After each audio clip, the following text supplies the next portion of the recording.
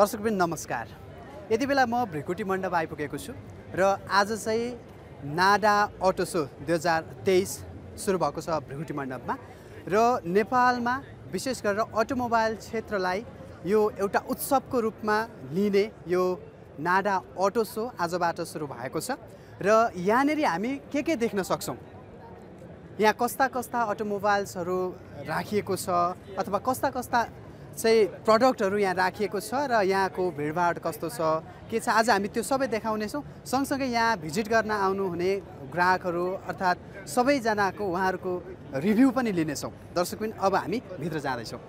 दर्शकबिन हामी भित्र आइसकेका छौँ र यो चाहिँ स्टलहरू हेरिराख्नु भएको छ घुमिराख्नु भएको छ ग्राहकहरू। अब चाहिँ हामी उहाँहरूलाई प्रश्न गर्नेछौँ उहाँहरूको अनुभवहरू। यहाँनिर आउनुभएको छ तपाईँ खास किन आउनु? त्यही अब नयाँ इलेक्ट्रिक भेहिकलहरू कुन कुन नयाँ मोडलको आएको छ है त्यही चेक गर्न लागेको। यो नाडा एक्सपो चलिराखेको छ आजबाट होइन? यसबाट चाहिँ एउटा अडियन्सको हिसाबले एउटा ग्राहकको हिसाबले चाहिँ कस्तो कस्तो एक्सपेक्टेसन गर्नुभएको छ? एक्सपेक्टेसन अब न्यू मोडलहरू चाहिँ यहाँ अब भेटिन्छ भनेर आएको होइन? अनि त्यही अनुसारको डिस्काउन्ट पनि अब हल्का अब बाहिरभन्दा अलिक बढी हुन्छ कि भनेर अब हेर्न आएको हेरौँ। के के पाउनुभयो त? जस्तो योभन्दा अगाडिको चाहिँ यस्तो कार्यक्रमहरूमा आउनुहुन्थ्यो कि आउनुहुन्न थियो के छ? म आइरह हो है। अब पहिलेको इयरहरूभन्दा अहिले इलेक्ट्रिक भेहिकलहरू अलिक बढी हो कि मोडलहरू अलिक बढी हो कि जस्तो लागेको छ। मन जस्ट पसेको हो मजाले यो क्राउन हेरिसकेपछि थाहा हुन्छ। हस् थ्याङ्क यू हस् थ्याङ्क यू यहाँलाई रातोपाटीमा स्वागत छ। थ्याङ्क यू धेरै धेरै धन्यवाद। यो नाडा एक्सपो चलिराखेको छ होइन? तपाईँ आउनुभएको छ। खास किन आउनुभयो? आएर के के पाउनुभयो यहाँ? अहिले एक्चुली म आएको त अब इलेक्ट्रिक गाडीहरू हेर्न लागेको। प्लस सँगसँगै अब कम्पनीको पनि म पनि as a company as a employee एउटा नेको इन्सुरेन्स भन्ने चाहिँ। अनि यसो आएको प्लस आफूलाई पनि काम लाग्ने चिज अहिलेको नयाँ जेनेरेसनमा चलिरहेको छ इलेक्ट्रिक इक्विपमेन्ट हामी जानुपर्ने भनेर। त्यसको लागि पनि यसो हेर्दै आफूलाई पनि हुन्छ प्लस कम्पनीको लागि पनि केही हुनसक्छ भन्ने हिसाबले चाहिँ आएको। यस्तो खालको प्रदर्शनी कार्यक्रमहरूको आयोजना हुँदाखेरि चाहिँ ग्राहकहरूलाई के के सहज हुन्छ सँगसँगै मार्केटमा इकोनोमीमा कस्तो असर पर्छ? ग्राहकहरूलाई अब भन्ने हो भने चाहिँ एक्चुली गभर्मेन्टबाटै यस्तो चिजहरूलाई चाहिँ अलिकति प्रोत्साहन गर्नुपर्ने हो होइन? अब त्यो हिसाबले चाहिँ सपोर्ट भयो भने त धेरै राम्रो हो किनभने नयाँ जेनेरेसनमा हामी पेट्रोलको अल्टरनेटमा जानै पर्छ होइन? सबैजना गइरहेछन् त्यो हिसाबले अब हेरौँ आई थिङ्क राम्रै हो चेन्जेस भएको धेरै राम्रो तर गभर्मेन्टले सायद केही अझ फ्लेक्सिबिलिटी ल्याउँछ जसले गर्दा चाहिँ जनतामा अझ बढी चाहिँ उत्साहित भएर यो साइडतिर लाग्छन्। नाडाले आयोजना गर्ने यस्तो एक्सपोहरू योभन्दा अगाडिकोमा पनि तपाईँ पक्कै आउनुहुन्थ्यो होला।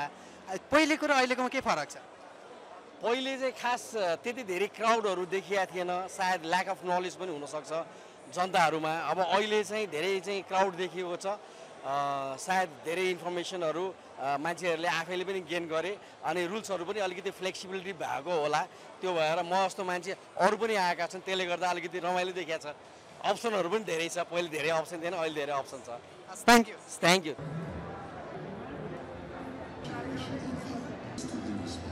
यहाँलाई स्वागत छ रातोपाटीमा ए धन्यवाद। तपाईँ यो चाहिँ नाडाको यो एक्सपो टु थाउजन्ड ट्वेन्टी थ्रीमा आउनुभएको छ होइन? कस्तो अनुभव गरिराख्नु भएको छ? अ, जोस् अहिले चाहिँ मैले यहाँ राम्रै अनुभव गरिरहेको छु। गाडी पनि बढी यो पेट्रोल डिजलभन्दा इलेक्ट्रिकै बढी देखिरहेछ। यो गाडी चाहिँ अलिक अट्र्याक्टिभ लागेको भएर हेरेको। जस्तो यो एक्सपोमा यसरी आउँदा चाहिँ जस्तो इन जेनरल पिपललाई चाहिँ कस्तो सहयोग हुन्छ जस्तो लाग्छ तपाईँ यसरी आयोजना गर्दाखेरि? अब यसरी आयोजना गर्दाखेरि हामीले स्पेसिफिकेसन चाहिँ अब जेनरली मजाले रिभ्यू गर्न पाउने भयो नि त। अब हामी यसको लागि रिसर्च केही गर्नु परेन। यहीँ आएर आफूलाई मन परेको गाडीको स्पेसिफिकेसनहरू यहाँ बहिनीहरूले यहाँ अरू सहकर्मीहरूले भनिदिनु हुने भयो। त्यो हिसाबले हामीलाई धेरै सहज हुने भयो। अघिल्लो अघिल्लो एक्सपोहरूमा तपाईँ भिजिट गर्नुहुन्थ्यो के थियो? आइरहेको थिएँ भाइ। म चाहिँ स्पेसल्ली अफरोड गाडीको सोखिन मान्छे हो। म अफरोड गाडीहरू हेर्न आइरहेको थिएँ यो चाहिँ मैले मेरो वाइफको लागि एउटा इलेक्ट्रिक गाडी लिन खोजेको भएर यसमा आँखा गइहाल्यो कि।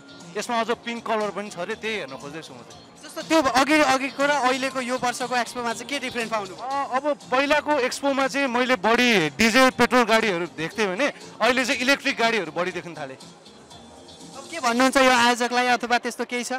ठिक छ यो ना नाडा आयोजना गर्नुभएकोमा धेरै धेरै धन्यवाद छ। हामी जनतालाई यसबाट धेरै मद्दत मिलेको छ। अब आगामी दिनहरूमा पनि धेरै मद्दत मिलोस् भन्न चाहन्छु। थ्याङ्क यू ल थ्याङ्क यू भाइ। यहाँलाई रातोपाटीमा स्वागत छ। थ्याङ्क यू धन्यवाद। थ्याङ्क यू अनि यो चाहिँ नाडाले आयोजना गरेको यो एक्सपोमा आउनुभएको छ होइन? कस्तो अनुभव गरिराख्नु भएको छ आज यहाँभित्र पसेर? एकदमै एक्साइटिङ लागिरहेको छ। So seeing all these new cars it's very very exciting I love everything that's going on जस्तो यसरी आयोजना हुँदाखेरि चाहिँ हामी ग्राहकहरूका लागि चाहिँ के के सहयोग हुँदो रहेछ? अब नयाँ कुराहरू के के निस्किरहेको छ त्यो हेर्न पाउने भयो। मेबी सबै ठाउँहरू भिजिट गर्न पाइँदैन होला सबै स्टोर्सहरू भनौँ। सोरुम्सहरू भिजिट गर्न पाइँदैन होला बट यसरी राखे पछाडिबाट चाहिँ के के नयाँ निस्केको छ के कस्तो कस्तो गाडीहरू चाहिँ स्टोरमा मार्केटमा आएको छ भन्ने कुरा चाहिँ हेर्न पाइन्छ। गाडी किन्दै हुनुहुन्छ कि हुनुहुन्न त यो एक्सपोमा आएर? किन्दैछु सुन। थ्याङ्क यू थ्याङ्क यू दर्शक पनि यति बेला भने हामी यो नाडा एक्सपो चलिराखेको बेला चाहिँ यो ट्राफिक प्रहरीले राखेको यो स्टलमा आइपुगेका छौँ। र खासमा चाहिँ सडक दुर्घटना न्यूनीकरणका लागि ट्राफिकले विभिन्न कार्यक्रमहरूको आयोजना गर्ने गरेको छ र यो भिकुटी मण्डपमा नाडाले आफ्नो एक्सपो चलाइरहँदाखेरि ट्राफिक प्रहरीको पनि उपस्थिति छ र आज हामी यहाँ पनि के खास कुन उद्देश्यका लागि चाहिँ उहाँहरू यो स्टल राखेर बस्नु भएको छ भनेर हामी प्रश्न गर्दैछौँ। यहाँले रातो पार्टीमा स्वागत छ। हस् धन्यवाद नमस्ते। यो नाडा एक्सपो दुई हजार तेइस चल्दै गर्दाखेरि चाहिँ तपाईँहरूले आफ्नो स्टल राखेर जनचेतना जगाउनका लागि विभिन्न यो सिम्बोलिक अ, तस्बिरहरू यो राखिराख्नु भएको छ होइन? यसको खास उद्देश्यहरू के के हुन्?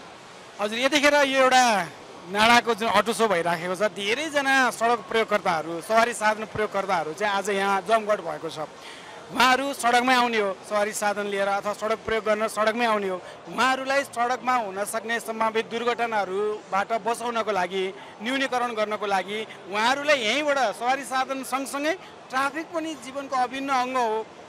भन्ने उद्देश्यले उहाँहरूलाई ट्राफिक सम्बन्धी जानकारी दिनको लागि र हामीसँग विभिन्न ब्रसरहरू छन् ट्राफिक चिन्हहरू छन् ट्राफिक सङ्केतहरू छन् हामीसँग विभिन्न श्रव्य दृश्य सामग्रीहरू छन्। यो मार्फत उहाँहरूलाई सूचित गराउनको लागि र दुर्घटना न्यूनीकरण गर्नको लागि अर्थात् सडक सभ्यता अभिवृद्धि गराउनको लागि चाहिँ हामीले आज यसरी यहाँ यो स्टल राखेर बसेका छौँ। तपाईँहरू यो छ दिन नै बस्नुहुन्छ कि अथवा के छ कार्यक्रमहरू अरू केही छन् फरक केही छ? हजुर हामी यो जति दिन चल्छ उहाँहरूको। त्यो दिनसम्म हामी अन्तिम दिनसम्म पनि रहन्छौँ। किनकि त्यो दिनसम्म पनि यहाँ धेरैजना सडक प्रयोगकर्ताहरू अर्थात् सवारी साधन खरिद गर्न आउनुहुने सेवाग्राहीहरूको भिडभाड हुने हुँदाखेरि हामी यो छ दिनै उहाँहरूलाई यो सम्बन्धी सेवा दिन्छौँ। हस् थ्याङ्क हस् धन्यवाद। यहाँलाई रातो पार्टीमा स्वागत छ। थ्याङ्क यू थ्याङ्क यू यो नाडा अटो सो दुई हजार तेइसमा तपाईँहरू आउनु भएको छ। होइन यो एउटै छाना मुनि सबै भेकल्सहरू चाहिँ देख्दाखेरि चाहिँ कस्तो अनुभव भइराखेको छ र तपाईँहरूको त्यो गाडी छनौट चोइसमा कति सहज छ? होइन धेरै सजिलो भयो। भने आफूलाई मन लागेको गाडी अथवा कुन मन लाग्छ पनि छान्न पाइयो। अब एउटा जस्तै कुनै पनि कम्पनी चाहियो भने त्यसमा जानु पर्यो त्यसैबाट छान्नु पर्ने भयो। होइन अब यहाँ आउँदाखेरि त आफ्नो चोइसभन्दा बाहेक अरू गाडी पनि हेर्न पाइयो नि त। होइन त्यसको प्रसन कन्स त कुन राम्रो छ पनि हेर्न पाइयो भने नयाँ गाडी हेर्न पाइयो। त्यो राम्रो छ धेरै राम्रो छ। अहिले तपाईँ कुन गाडी चढिराख्नु भएको छ? अब कुनको प्लानिङ गर्दै हुनुहुन्छ? अहिले फोर्ड गाडी चढिरहेको छु अटोमेटिक अहिले सकेसम्म त अब फोर्डै चढ्ने हो। अब अब- अबको अल्टरनेट चाहिँ मलाई यो निसानको नै विचार गरिरहेको छ म्याग्नाइट जस्तो यहाँनिर गाडी किन्न रहर गरिराख्नु भएको होइन? र कहाँ जाने के गर्ने भनिराख्नु भएको ज कति धेरै हुनुहुन्छ होला होइन? ग्राहकहरू उहाँहरूलाई के भन्नुहुन्छ यहाँ? एज अ भिजिटरको रूपमा तपाईँ आउँदै गर्दाखेरि यो कस्तो छ यहाँ? के छ? के भन्नुहुन्छ? हो नि धेरै राम्रो छ सजिलो छ। चोइसेसहरू आफ्नो अगाडि हेर्न पायो। धेरै सजिलो छ नि।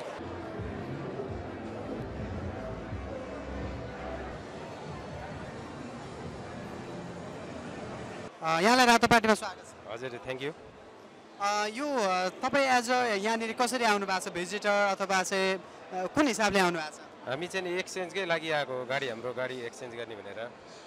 अब यहाँ आउँदाखेरि नयाँ नयाँ गाडी देख्यो जुन हेऱ्यो उही राम्रो छ होइन। अब एकछिन एक राउन्ड घुमौँ हामी कुनमा अब हाम्रो मन जान्छ त्यसतिर अनि कुरा राखौँ ल। अहिले कुन गाडी चढिराख्नु भएको छ र अब कुन चढ्ने योजना गर्दै हुनुहुन्छ? अब अहिले चाहिँ नि तत्काल मसँग चाहिँ नि महिन्द्र स्कर्पियो हाइलेक्स डिजाइनको महिन्द्र पिकअप छ मसँग अहिले। त्यो चाहिँ चेन्ज गरेर अहिले इभी चढ्ने कि भन्ने मैले सोचिरहेको छु।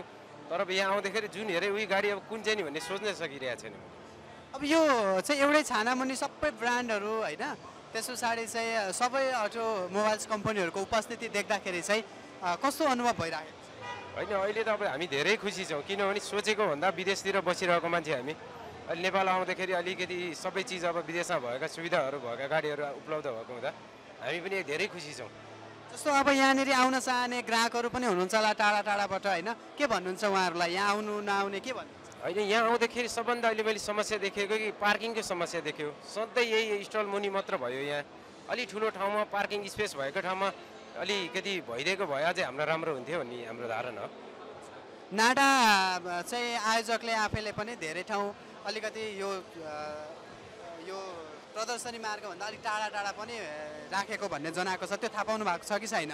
पार्किङ अहिलेसम्म तपाईँको म चाहिँ नि अहिलेसम्म चाहिँ नि म चाहिँ नि यहीँ मात्र आएको हो। यहाँभन्दा टाढा चाहिँ अब म बाहिर बाहिर बसेको भएर अलिकति मसँग टाइम पनि नभएको भएर। जहिले नै आउँदाखेरि मेरो यस्तै टाइम भएर म यहाँ बाइक त अन्त गएको पनि छैन है? त्यति हो। अब भाइ यहाँभन्दा बाहिर अलिकति पार्किङ स्पेस भएको ठाउँमा राखिदियो भने झनै राम्रो हुन्थ्यो क्या। अब अहिले हामीलाई सिभिल मलमा गाडी राखेर यहाँसम्म हिँडेर आउनु परेछ। बाहिर बाहिर ट्राफिकको दुःख है।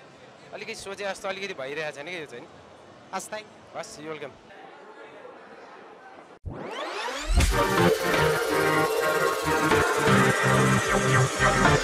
Thank